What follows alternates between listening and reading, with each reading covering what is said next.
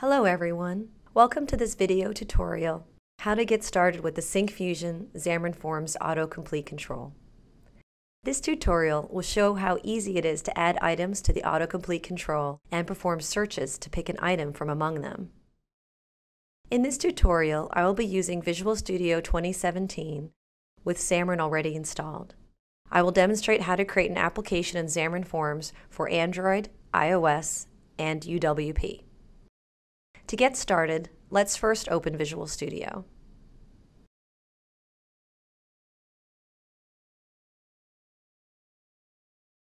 And then create a new project. Choose Cross Platform. And then Mobile Application for Xamarin Forms. Name this application Getting Started. And then click OK. Now we will be prompted to choose the platforms and code sharing strategy. For this project, we will leave all the platforms selected and use the .NET Standard Code Sharing strategy. Also, we will be creating a blank app which is selected by default. Next, click OK and wait for Visual Studio to set up the project. While that's happening, let's take a brief tour of the features of the Syncfusion Autocomplete control. Syncfusion Autocomplete is highly optimized to quickly load and populate suggestions from a large volume of data, depending on the user's input characters. Autocomplete supports multi-selection with token representation or delimiters. Users can load and search a million items in an instant. Autocomplete supports on-demand loading to limit the number of suggestions shown in the dropdown. Diacritics can be used in items and searches. Also, we can create our own search logic using custom search functionalities. The control even supports a provision to set the number of characters required to support matching. We can pick from various filtering options, such as starts with, contains, and ends with. Okay, now the project is ready. The first thing we have to do is add the required assemblies for autocomplete from the NuGet Package Manager. Right-click the solution and choose Manage NuGet Packages for Solution.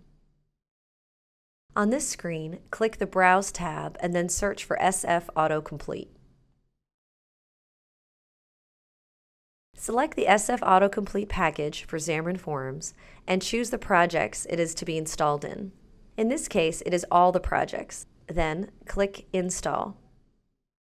Make sure to read and accept all the licensing agreements and then continue with the installation.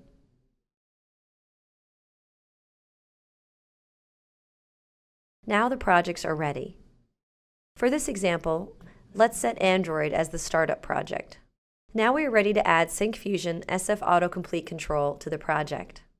Let's start with the main page XAML file from the Getting Started shared project. To add the autocomplete control to the page, we need to add the class reference to the XAML file.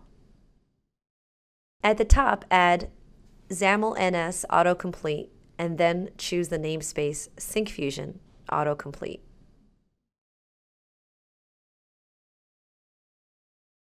Now we will add a tag to the Syncfusion control to the default stack layout.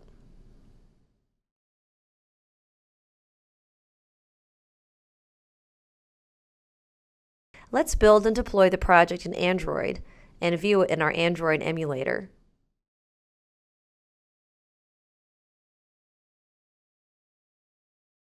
Now we can see the autocomplete is loaded without items we need to use a list of type string to populate items.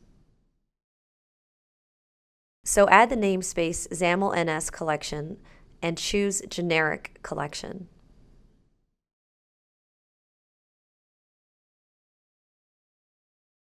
Now let's create the instance of autocomplete and add autocomplete source.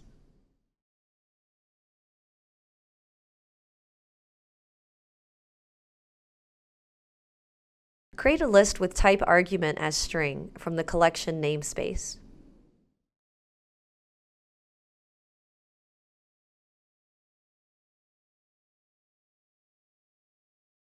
Add the string value violet and six more items with different values.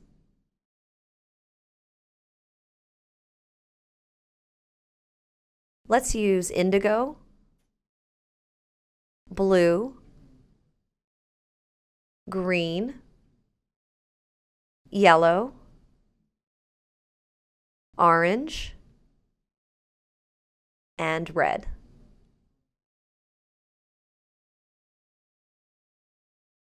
Let's build and deploy the project.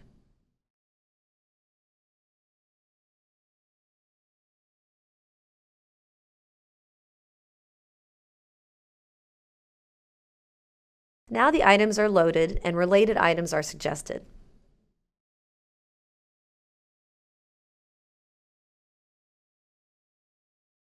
To choose multiple items, we must enable multi-selection support by setting the multi-select property as token.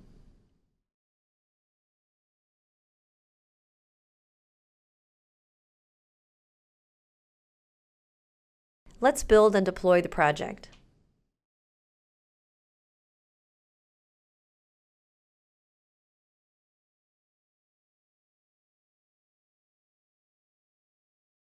Now red is chosen along with green and blue.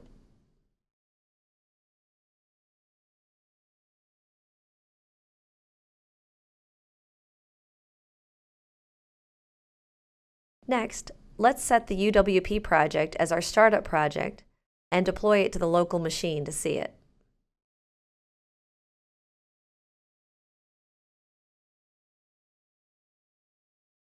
All right, here we can see the exact same experience and suggestions in our UWP project as we did in Android.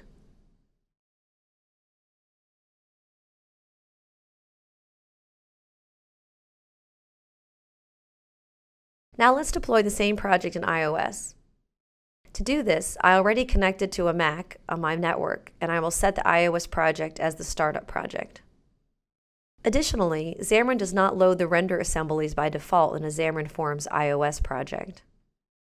In order to resolve this, you must call init method of the SF autocomplete renderer class. In the finished launching overloaded method in the app delegate class in the iOS project.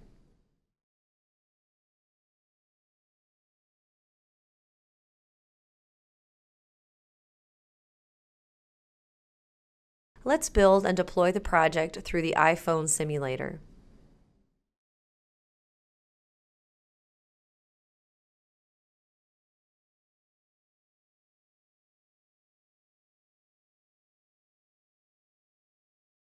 So everything works as it did on Android and UWP. Now the Xamarin app is fully cross-platform capable. All the features are present and everything works as expected. We hope you found this video helpful.